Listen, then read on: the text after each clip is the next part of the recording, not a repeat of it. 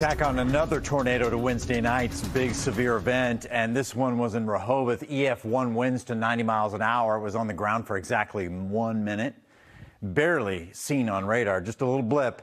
Half mile uh, on the ground and about 50 yards wide did create a swath of damage. We also had a microburst in Seekonk near the high school. Second tornado from Wednesday night. Four tornadoes so far in New England. We average two tornadoes in Massachusetts every year, so we've reached our quota. I think we're good. Well, we know Mother Nature has a mind of her own. 73 today, uh, near 80 in Norwood. We started off in the 40s in some cases, back through Bedford. What was that about, right? Tonight will be near 50 degrees, so the clouds are coming in to warm us up, so to speak. And tomorrow is mostly dry, although, dot, dot, dot, I have to add that extra risk for a shower Saturday afternoon and especially Saturday night. We have rain moving in. Storms on Sunday, that severe threat and drier return early next week. The humidity is not in the picture, but is trying to get back here. It comes in via Pittsburgh. So we'll see those dew points rise tomorrow.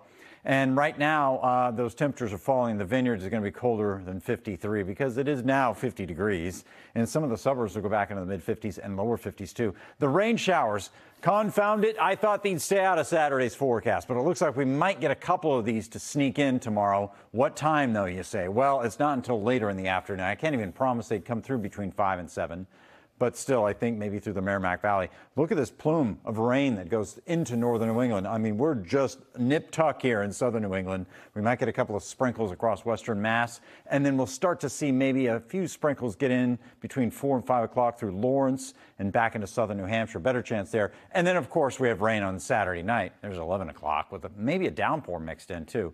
Then Sunday, fast forward to into the heat. We're right there near 90 degrees. That's only half the story, though, when you combine that with the humidity, right? The feels like temperature or the heat index goes into the low 90s, almost mid 90s as we go into the afternoon. Look at that at 2:30. Well, that's a beach day. Yeah, but keep an eye to the sky because the skies get dark in the afternoon as the storms start to move in. Here they are, uh, marching in between about 1 and 2 o'clock in western New England. Okay, could they get to Manchester by 2? Certainly, if they're racing, yes, maybe 2 to 3, and then they press into Boston between about 4 and 5 a line of thunderstorms that could have some severe um, items here and here, like strong gusty winds and maybe some hail. The potential is also for some brief spin up tornadoes, but that threat is small. I don't want to make you panicked on the weekend forecast. It's a Friday night. You should be mellowing out. But um, Friday night into, I mean, I'm sorry, Sunday afternoon into Sunday evening, tornado threat is low, but the wind threat is higher, and the hail threat as well, too, is also high.